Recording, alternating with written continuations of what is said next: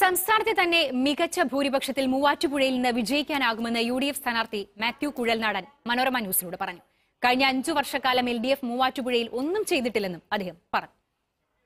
മൂവാറ്റുപുഴയിലെ U D F സ്ഥാനാർത്ഥി മാത്യു കുഴൽനാടൻ മനോരമ ന്യൂസിന് പങ്കുചേർന്നു പ്രചാരണം ഏറ്റവും അവസാനത്തോ അടുക്കുന്നു. എന്താണൊരു ഒരു കിട്ടുന്ന ലഭിക്കുന്ന ഫീഡ്ബാക്ക് എന്താണ് തീർച്ചയായിട്ടും ഞങ്ങൾ മികച്ച ആത്മവിശ്വാസത്തിലാണ്. മണ്ഡലത്തിലെ എല്ലാ മേഖലകളിലും ഞങ്ങളുടെ പര്യടനം അല്ലെങ്കിൽ ഞങ്ങൾ എത്തിച്ചേർന്ന് കഴിഞ്ഞു. പ്രവർത്തകരെല്ലാവരും വളരെ സജീവമായ ഫീൽഡിലുണ്ട്. ഞങ്ങൾക്ക് കിട്ടുന്ന പ്രതികരണങ്ങളാണെങ്കിലും വളരെ എക്സൈറ്റിംഗ് ആയിട്ടുള്ള വളരെ നല്ല പ്രതികരണങ്ങളാണ്. മികച്ച ഒരു വിജയം സംസ്ഥാനത്ത് തന്നെ മികച്ച ഒരു വിജയം മൂവാറ്റുപുഴയിൽ ഉണ്ടാകും എന്നാണ് പ്രതീക്ഷിക്കുന്നത്.